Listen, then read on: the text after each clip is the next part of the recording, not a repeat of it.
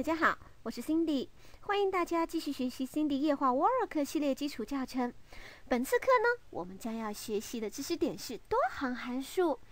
那么上次课的话呢，应该是上几次课哈，我们学习的是 Oracle 的单行函数。什么是单行函数呢？就是针对每一行记录返回一个结果。那么什么是多行函数呢？就是针对多行记录，我只返回一个结果。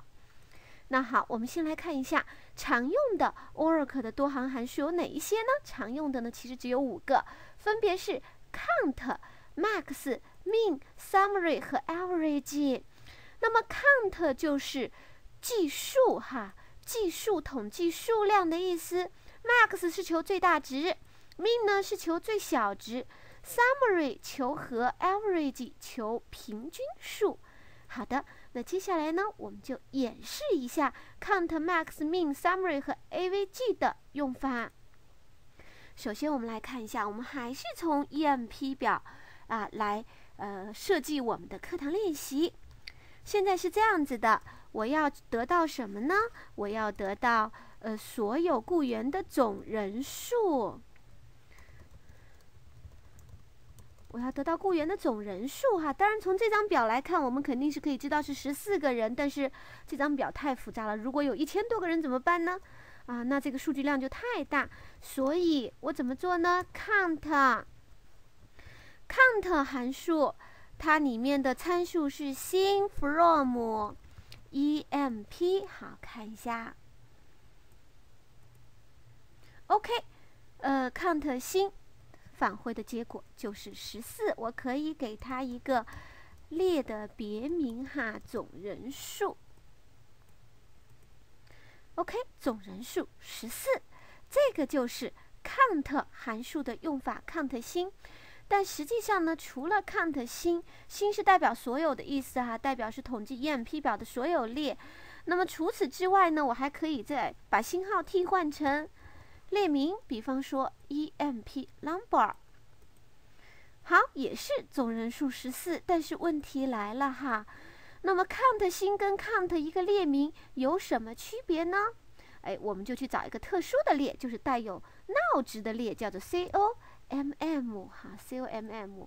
接下来运行一下看看，哎，出来的是四。这是什么意思呢？count 新的话呢，它其实不会忽略闹值的。但是如果你是 count 里面加了一个列名，统计这个列的数量有多少，哈，总共的记录数有多少，它是会忽略闹值的。这个就是 count 新和 count 列名的一个区别。好，但是像我们之前写的，就是说它这个列没有任何空值，那么。这个 count dpt number 跟 count 新就是一样的结果。好的，这个是 count 函数。那除此之外呢，还有呃 max 这样子吧。max 的话呢，max 函数里面跟的就是列名，比方说 salary，这是最高的薪水。除此之外，还有 mean salary。最低的薪水，这是 max 和 min，OK。哎，最高的薪水是五千，最低的薪水是八百，啊，没错，就是这样。最高的在这里，哈，最低的呢，在第一条记录，史密斯先生只有八百。这个 max 和 min 的用法呢，实际上就是在于哈，它们的含义是不同。max 是求最大值，min 呢是求什么呢？最小值，某一列的最小值。那当然，它们的参数我放的都是 salary，看到没有？max 就是针对这么多条记录，只会返回一条记录。同理，count 和 min 也是一样的，所以它们叫做多行函数。那好，除了 count max min 之外呢，还有一个 summary。summary 是求和的意思，啊，求和的意思。注意不能出现中文 summary。如果我把 salary 也作为哈这个参数，那么这个求出来的呢，所有人的工资总总和，那应该是总工资对吧？就工资总和吧。OK，求出来的就是工资总和。那么同理，AVG 如果也是 salary 的话，那求出来的就是平均工资。好的。哦哦，我不能够全部运行，我得选中，选中它来运行。OK。哇哦，出来的结果总人数十四，最高薪水五千，最低薪水八百，工资总和啊，每个月的是两万九千零二十五，平均工资每个人的人均工资是两千零七十三点二幺四二，哇，非常长，非常长，怎么办呢？我可以只保留两位小数，保留两位小数，呃，直接截断吧。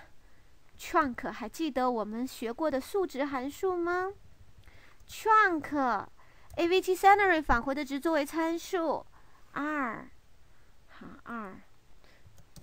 接下来我们把这个语句执行一下，出来的就是二零七三点二一。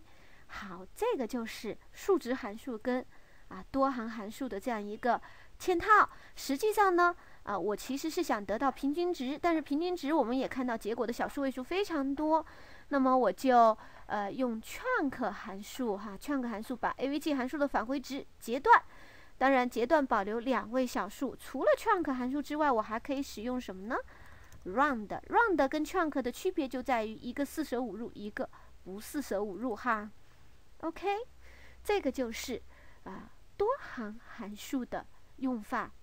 它的目的呢，啊，实际上是针对于多条记录返回一个结果。比方说，max salary 求的就是最大值的工资，哈，min salary 求的是所有记录中最低的工资，summary 求和，avg 求平均值，count 则是计数。